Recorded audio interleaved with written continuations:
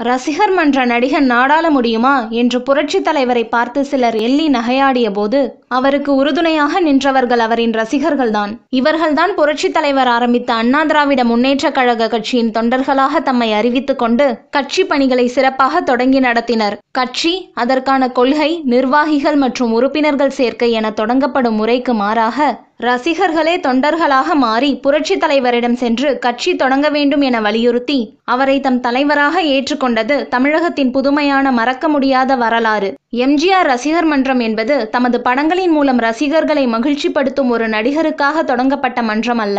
இந்த மன்றங்களை நாம் சினிமா சார்ந்த ஒரு விஷயமாக மட்டும் எடுத்துக்கொள்ள முடியாது. ரசிகர்கள் புரட்சித் தலைவர் மீது தீவிர அன்பும் மரியாதையும் வைத்திருந்தார்கள். கோயில் இல்லாத ஊர் இருக்கலாம் குளம் இல்லாத ஊர் கூட இருக்கலாம் ஆனால் எம்ஜிஆர் மன்றம் இல்லாத இடமே இல்லை என்ற அளவுக்கு ரசிகர் மன்றங்கள் துளிர்த்தன.